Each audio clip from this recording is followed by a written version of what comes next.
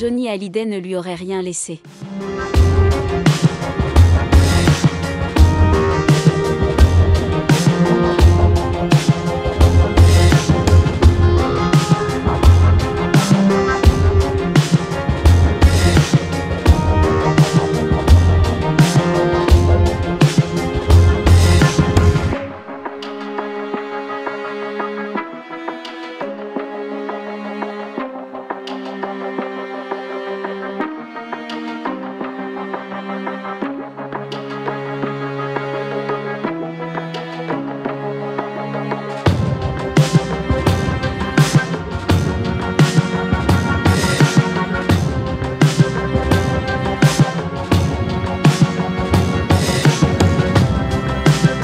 À Saint-Barth, David et Laura nous avaient fait de belles promesses, nous assurant qu'ils seraient toujours là, que l'on pourrait compter sur eux, que l'on se verrait souvent.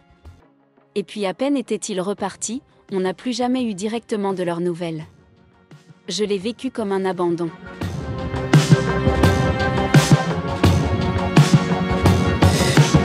Moi comme une trahison parce qu'après la disparition de papa, on a cru qu'on aurait un lien plus fort, que ça allait tous nous rapprocher. On a le même nom, le même père mais rien en commun à la fin, c'est juste triste, on aurait aimé partager des moments avec notre grand frère et notre grande sœur pour parler de notre père plutôt que de les voir nous assigner en justice, alors qu'on ne leur a rien fait.